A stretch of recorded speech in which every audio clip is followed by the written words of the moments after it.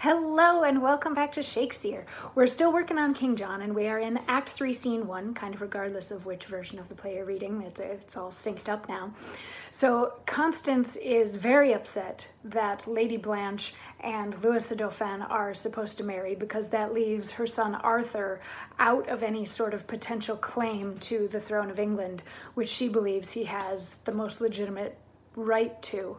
And keep in mind, France and Austria were originally also backing Arthur. So Constance is upset that this has happened, but she's specifically angry with France and Austria, uh, the King of France and the Duke of Austria, Limoges, um, because they swore that they would fight for Arthur, and now this peace has been brokered, and so she's she's very upset.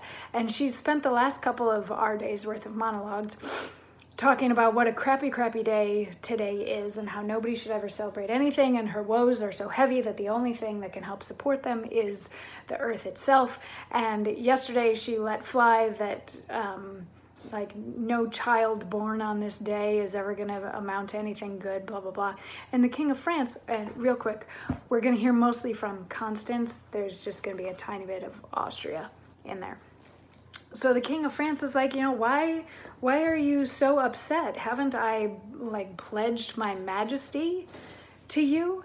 And she says, You have beguiled me with a counterfeit resembling majesty, which being touched and tried proves valueless. You are forsworn.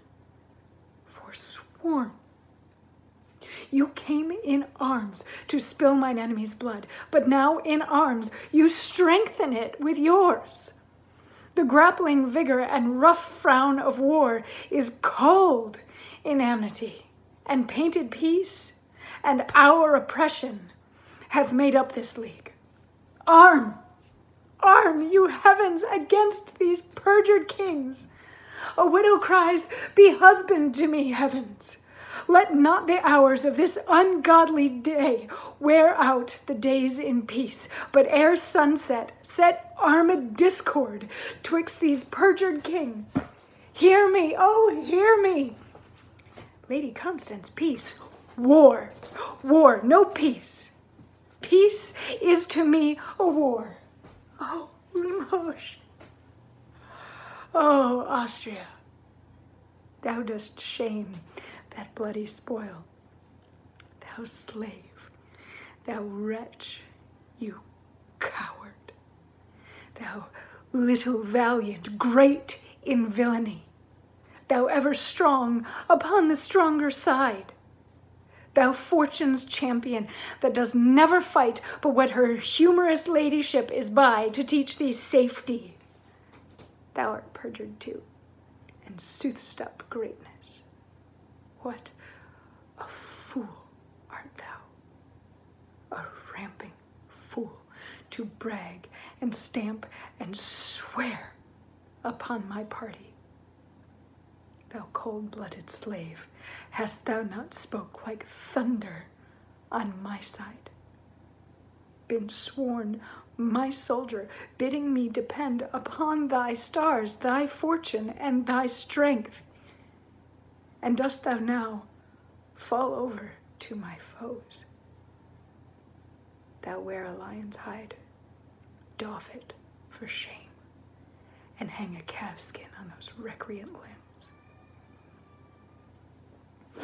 So she's not mincing words. She's not holding back with anything here. Um, she she lets it fly at the King of France saying you let me down. You were you came here and you were to fight for me and you're not. So she calls upon the heavens to fight on her behalf and to get rid of both France and England.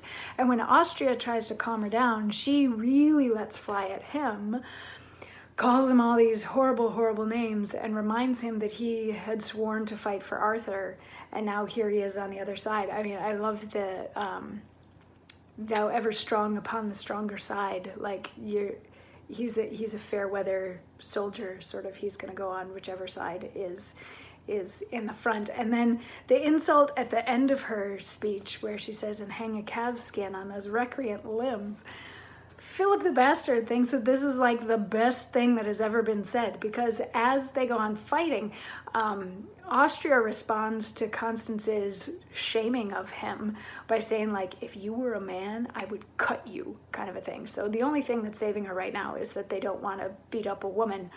He's very angry about what she has said. And while he's like sort of responding and threatening back to her, Philip's just sort of like standing there and he's like, and hang a calf skin on those recreant limbs.